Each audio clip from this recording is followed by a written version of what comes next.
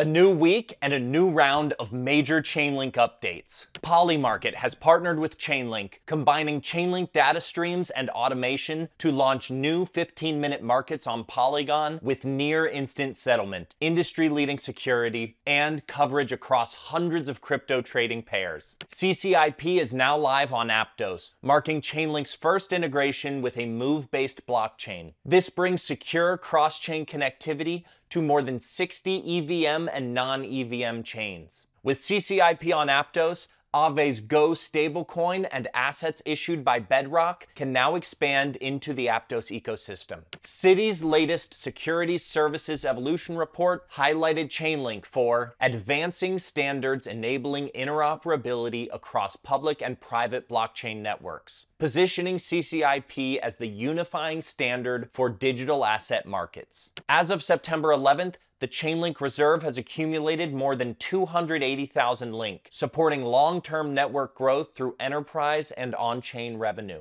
Sei's $1.2 billion TVL ecosystem now has access to institutional-grade, ultra-low latency data, including US government macroeconomic data through Chainlink data streams. Leading Bitcoin Layer 2 BitLayer has adopted CCIP as its canonical cross-chain infrastructure, unlocking greater liquidity and Bitcoin DeFi potential. Follow for more updates next week.